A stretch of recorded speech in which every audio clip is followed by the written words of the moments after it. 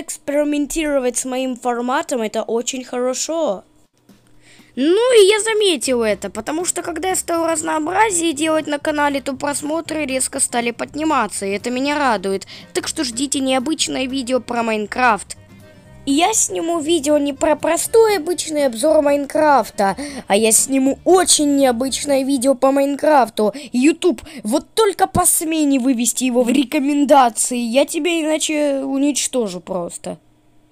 Кто не любит мультики? Опять же, задаюсь таким вопросом. Наверняка все их любят. И сегодня мы с вами поговорим о самых запоминающихся мультиках детства. Сразу говорю, возможно, некоторых мультиков здесь не будет. Исключительно из западной и зарубежной всякой вот в этой мультипликации. А вот русские мультики здесь будут в полном составе. Это все из-за того, что многие западные я не смотрел.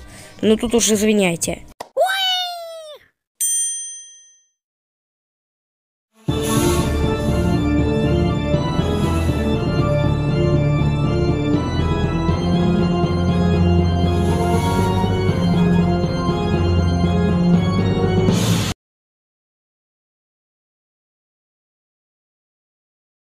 Добрый, хороший мультик. Где же его взять? Союз мультфильм. То, что нужно для счастья. Добрые, хорошие, запоминающиеся мультики. Они хорошо запали в память практически всем. Майдадыр, ну погоди. И многое другое. Замечательные мультики. Мультиков от этой киностудии очень много. И, честно говоря, сейчас я всех их перечислить не смогу. Но сразу говорю, скоро, возможно, или когда-нибудь я выпущу полный их разбор.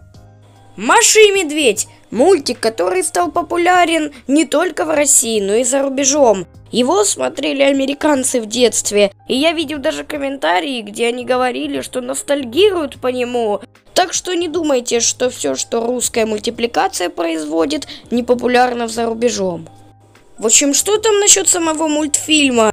Главным героем является, как вы, наверное, могли догадаться, Маша и Медведь. И Маша постоянно делает всякие причуды. Маша постоянно балуется и мучает этого медведя. Медведь пытается ее остановить. И так каждую серию. Но есть серии, где Маша ведет себя более-менее нормально. Ну и бывают еще... Бывают более разносторонние серии, как вы могли уже понять. В общем, Маша и Медведь это очень хороший мультфильм. Хороший юмор, и графика. Посмотрите на реализацию мультфильма, это шедевр. По-моему, здесь 3D-графика очень хорошо вписывается, и они не меняют ничего особо. И этот мультик один из тех, кто не скатился. Посмотрим на Спанч Боба, скатился. Посмотрим на Ну Погоди, там вообще не разбериха. А этот мультик как жил, так и живет своей жизнью. Следующий мультик это Лунтик. И честно говоря, я не знаю, почему многие его хейтят из-за того, что якобы в нем Лунтик слишком добрый. И это плохо для психики ребенка и для его воспитания. По-моему, все очень даже хорошо. Это говорю я, ведь я вырос на Лунтике, и я его хорошо помню. На мой взгляд, это очень хороший мультфильм. И здесь даже есть маломальская история. Когда-то давным-давно Лунтик упал с луны на землю. Там его ждало много друзей, и он поселился у приемных родителей, бабы Капы и деда Шера. И в итоге в каждой серии разные истории, которые заканчиваются справедливыми решениями Лунтика.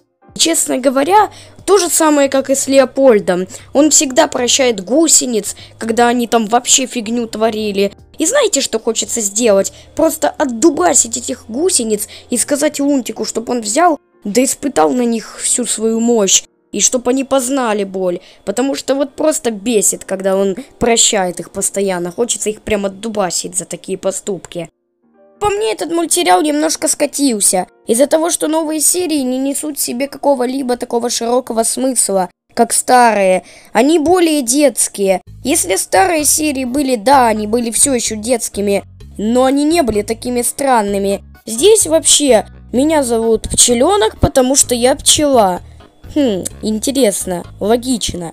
Ну, в общем, как-то странно это. Либо я чего-то не знаю. Ну, в общем, каждому считать самому, скатился этому мультик или нет. Следующий мультик это «Новаторы». Мультик детства. Наверняка вы все помните эту замечательную песню. Впереди стена, позади по... О, по... Впереди стена, позади погоня Но не станем мы сдаваться все равно Слушаю. И как по мне, это шедевральный мультик. Он рассказывает о многих изобретениях наших русских ученых, так и зарубежных. В общем, очень интересный мультфильм. Но правда, так как им заинтересовался Дисней и вся зарубежная мультипликация, то мультфильм стал скатываться. Потому что, как я помню, я просто решил посмотреть по приколу видео Никиты Васина. Что Дисней взял да, надавил на создателей инноваторов. И просто все. Нужен морок. Нужно добавить антагониста в этот мультсериал. И так стало как-то не очень интересно. Потому что все сериалы Диснея с антагонистами. А это не какая-то диснеевская не знаю что. Это настоящий русский мультфильм. И это хороший мультфильм. Не надо его губить своими диснеевскими плюшками. Лучше свои мультики делайте с ними. Мультсериал на данный момент закрылся, его производство остановлено. Но я уверен, что когда все будет в норме, возможно мы все же увидим какую-либо концовку. Следующий мультик это «Смешарики». Замечательный мультик с нашими любимыми круглыми героями. Вы только посмотрите. Лосяш, Нюша, Савунья. Добрые герои, которые любят ходить друг к другу в гости. Весело живут в своей долине смешариков. В каждой серии что-то интересное. И это один из тех сериалов, который не умер и до сих пор живет. И я этому рад. Кстати, всегда было интересно, как вы могли в детстве бояться вообще? Весь народ почему-то боялся Железную няню, Роба Зайца из «Ну погоди». Я просто не понимаю, как их возможно бояться, они ж такие миленькие. Нет, ну серьезно, я их вообще ни капли не боялся. Хотя уже понятно, что у меня бедроковая психика, потому что я уже насмотрелся столько всяких крипипаст. И вообще для меня этот заяц кажется уже какой-то няшкой, в отличие, допустим, от эксперимента русского со сном, либо же SCP. Ладно, что-то я не о том стал говорить. Кстати, могу крипипасту в последнем видео вставить в конце. Ну да ладно. Барбарики. Не знаю кто как, но я их очень любил смотреть. Не знаю почему, но я их очень любил слушать. И я еще раз не знаю почему, я их любил просматривать. Вау, как гениально. Но помимо барбариков, там еще разные интересные песенки показывали по телевизору. Короче, много всяких таких программ, которые похожи на барбариков. И думаю, одну из них вы даже знаете. А вот я уже ее не помню.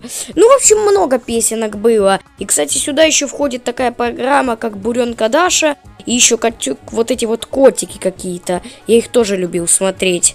В общем, так вот.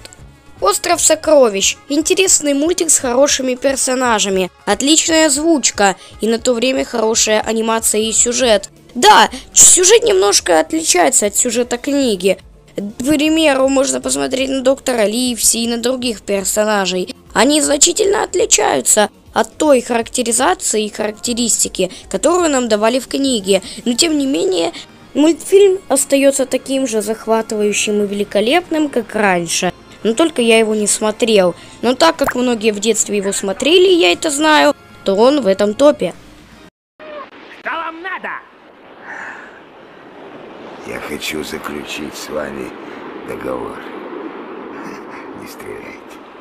Почемучка, а вы помните этот мультик? Замечательный мультик про то, как каких-то два школьника, а именно школьница и школьник, это, кажется, брат и сестра, имен не помню, у них есть компьютер, и они постоянно в каждой серии там что-то делают не так, либо задаются какими-то вопросами и обращаются за этими вопросами же к компьютеру. В компьютере они получают нужную информацию, и внутри компьютера у нас обитают всякие типа фиксики, типа какие-то человечки. И процессор, который тут как бы король и дает команды всем. Ну и в общем они как раз таки регулируют все внутри компьютера и нам рассказывают, как все происходит внутри нашего системного блока и монитора в том числе. Там еще серия про Троян была, я помню. Ох, я помню, помню.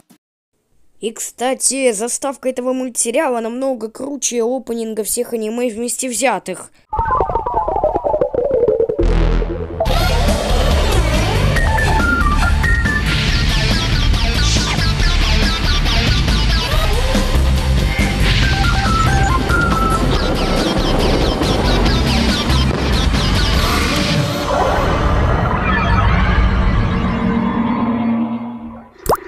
Хватит мне писать. Я нормально не могу съемку экрана сделать. Ну а следующий мультфильм это Бабка Ёшка и другие. Интересный мультфильм. Правда, я не помню, популярен ли он, но кажется, он не особо популярен. Я помню, я смотрел этот мультфильм в детстве, и мне он очень нравился. Я уж так вспоминаю, что когда-то передо мной стоял ноутбук, кажется, не помню, но это, конечно же, не мой ноутбук. Вы что подумаете, в три года у меня ноутбук был, что ли, свой? У меня максимум мог бы быть планшет какой-то старенький. По сюжету этого мультика на нашу долину, где жили Баба Яга, Кощей и Леший вместе со своими товарищами, упала маленькая девчонка новорожденная. Ее нес над этой долиной аист. Но потом аист случайно уронил корзинку с девочкой, и упала она вместе с Мишкой Плюшевым. И он поймал Мишку, а вот девочку поймать забыл аист. И в итоге он ее не нашел. Трагичная история. Ну и она росла у бабки Ёшки. Следующий же мультсериал – это «Фиксики». Кто не помнит «Фиксиков»? Сейчас они значительно поменялись. Посмотрите на новые серии и сравните их со старыми. В старых сериях все как-то так, классика, все по-добренькому, по-простому. А в новых сериях там так все наворотили. В общем, разработчики хотят просто сделать как можно лучше и их за это ругать нельзя. Но просто это смотрится как-то непривычно, как по мне. И старые фиксики были более такими привычными для меня. А что насчет сути самого сериала? У нас есть Дим Димыч, один из главных героев, и он нашел фиксиков. Фиксики – это такие маленькие работяги, которые трудятся э, внутри наших кастрюль, кипятильников. Каких кастрюль? Фу ты. В компьютерах. Вот. Они берут, точинят все. В общем, фиксики это интересный мультсериал. Правда, сейчас он немного потерял какую-то долю своей той самой атмосферы. Но, тем не менее, нельзя говорить, что он прям умер, и разработчики такие плохие. Хотя лично для меня старые фиксики намного круче. Следующий мультсериал это «Везуха». Не вижу какого-то глубокого смысла в этом мультсериале. Это просто такой комедийный мультсериал. В нем просто смешные сценки и так далее. И нету никакого смысла. Абсолютно. Так что можно сказать точно, что этот мультсериал такой э, чисто юмористический и смешной, как бы не несет себе какой-то глубокой мысли. Ну, так как про все наши мультики я рассказать, разумеется, не смогу, то приступаем к зарубежным мультикам. Angry Birds Toons, Piggy Tales и все мультики Angry Birds. Но я просто не знаю, с чего начать, потому что именно это начало будет самым хорошим для зарубежных мультфильмов, учитывая то, что мой канал вообще напрямую связан с Angry Birds. Замечательные мультики, и про них рассказывать, думаю, не стоит. Экранизация приключений злых птиц. В игре, опять же, у нас про просто мы оттягиваем рогатку, и кроме Angry Birds Эпика и еще некоторых игр, истории и анимации нет. А здесь прям полноценный мультик. Истории злых птичек. Прикольно, в общем. Следующий мультфильм это Микки Маус. В представлении не нуждается. Думаю, все вы знаете этого белого крысу. Вот эту белую крысу, которая испортила нафиг Звездные войны из-за чего я ее ненавижу. Кстати, Звездные войны тоже войдут в этот топ. Да, это не мультик, хотя там и мультики, и фильмы. В общем, все сразу. Она тоже войдет в наше детство. Звездные войны. Замечательные фильмы, замечательные мультфильмы. Там даже аниме должно скоро выйти. В общем, думаю, в представлении также не нуждается. А если и рассказать, то у нас в первом фильме а именно это начало Звездных войн и это истоки, у нас есть мальчик Люк Скайуокер. И оказывается, что это сын самого Дарт Вейдера, только нам это рассказывают потом. Он джедаем хочет стать и отправляется победить ситхов. И он узнает, что Дарт Вейдер на данный момент главарь всей этой банды, так скажем, штурмовиков. Он уничтожает звезду смерти, а позже еще узнает, что он сын этого гадкого Дарт Вейдера. Под конец всего этого ужаса он подбирается к императору и все же не побеждает его. И так как Дарт Вейдер выживает и смотрит, как император Палпатин убивает своего сына, он этого не выдерживает и убивает императора. Вот как по мне, это очень захватывающая история. Там еще были сиквелы, приквелы, и еще нам рассказали историю Дарт Вейдера, что он был ныне с Энакином Скайуокером, а именно избранным, который по пророчеству должен соединить баланс силы ситхов и джедаев. И он должен принести в этот мир справедливость. Но в итоге что-то идет не по плану, походу. И Энакин Скайуокер под влиянием императора ныне Палпатина идет на сторону ситхов. И потом он решает спасти свою дочь, точнее же жену, Падме. Она беременна и должна была скоро родить, но Энакин в гневе, когда узнал, что все обернулись против него, убивает ее. Ну как убивает? Она как бы была жива, но потом она родила и умерла сама от сердечного приступа. Ну и в итоге он нам показывает захватывающую битву Энакина и Обивана Киноби, а именно его учителя, который никак не мог ожидать, что Энакин превратится в такого гадкого фашиста. Ну и в итоге Энакину отрубают ноги, руки, да ему голову надо было за такое отрубить вообще. Ну так как по пророчеству судьбы и по иронии судьбы он должен был принести мир, он выживает, и теперь он стал Дарт Вейдером и носит защитный костюм, для того, чтобы никто не увидел, что он Энакин Скайуокер, да и плюс без этого костюма он бы уже умер нафиг. В общем, такое вот интересное зрелище. Как по мне, Звездные войны заслуживают большого уважения. А мы переходим к следующему проекту. Губка Боб «Квадратные штаны» – шедевральный мультик, который придумал Стивен Хилленберг. Очень интересный мультик про Губку Боба, у которого есть друг Патрик. Первой серии нам показывают, что Губка Боб идет работать в Красти Краб. Это кафешка, где находится мистер Крабс. И говорят, что там самые вкусные крабс-бургеры. Кстати, они сделаны, котлеты в них из крабьего мяса, и вот их секретные ингредиенты. Правда, этот мультик убили. Если раньше у Крабса был враг Плантон, все так весело, в каждой серии разнообразие, то сейчас серии какие-то, не знаю, ЛГБТшные, что ли, 18+. В общем, Стивен Хилленберг умер, из-за чего произошло такое недоразумение с мультиком. Наруто! Шедевральное аниме. Это не мультик, а аниме, но все же, его нельзя сюда не вставить. Одно из самых первых аниме, либо не знаю – так как оно вышло в 2000-х по 2010 год. Тогда выходили первые серии. И их озвучили русские переводчики уже тогда, из-за чего этот мультфильм считается ностальгическим. В общем, по сюжету у нас есть мальчик Наруто, в которого вселился девятихвостый лис. И так как у него погибли родители, а именно Минато Намиказа во время нападения девятихвостого лиса как раз таки этого, именно его отец зачем-то запечатал своего-то сына девятихвостого. В общем, много неразберихи. И Наруто из-за того, что за ним никто не следит, стал беспризорником и бегает по своей деревушке и мучает всех. Короче говоря, он не сдает тест на экзамене на Генина, а именно, чтобы стать полноценным ниндзя, и в итоге заваливает все тесты. Но так как он освоил технику теневого клонирования из-за обмана Мицуки, то он становится Генином. И тут начинается наше приключение. Экзамен на Чунина, еще разные поиски Саски, Акацуки. В общем, если я перескажу сейчас весь сюжет Наруто, то, по-моему, вы тут в обморок упадете. Так что лучше самим посмотреть эти тысячи шедевральных серий. Ну, такой вот аниме.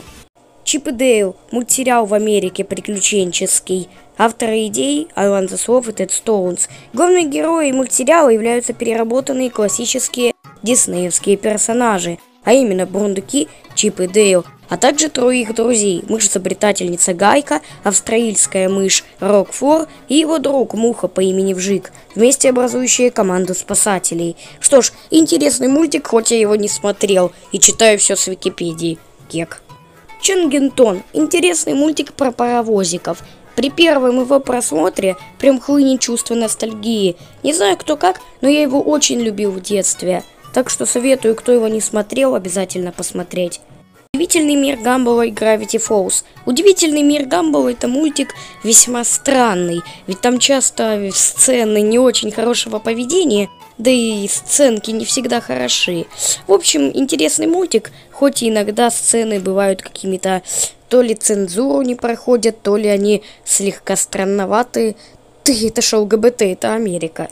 Gravity Falls, а вот это уже шедевр американских ученых. Да ладно, шучу. В отличие от всей мультипликации Америки, которая мне не всегда нравилась, это, по крайней мере, самый лучший мультик, на мой взгляд. Я просто не мог его сюда не вставить.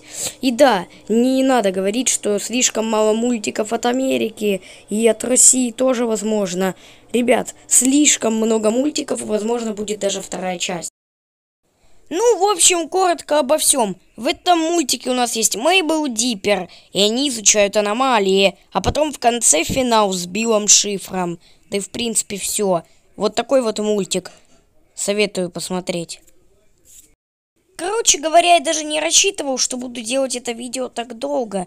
Да и в принципе, мне ушло на него очень много времени. Так что я надеюсь, вы оцените мои труды. Так что, всем спасибо за просмотр, а то видео уже длится 21 минуту на секундочку. Ну и всем пока. Ставьте лайки и подписывайтесь на канал. Ведь я рад, что у меня на канале сейчас довольно большая активность. Короче, всем пока.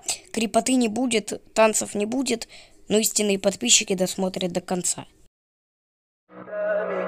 Tell me pretty lies, look me in the face. Tell me that you love me, even if it's fake. О, привет! Это новое шоу «Король свиней играется» и уже второй эпизод. Где же король свиней? Давайте же позовем его! Но никто не пришел.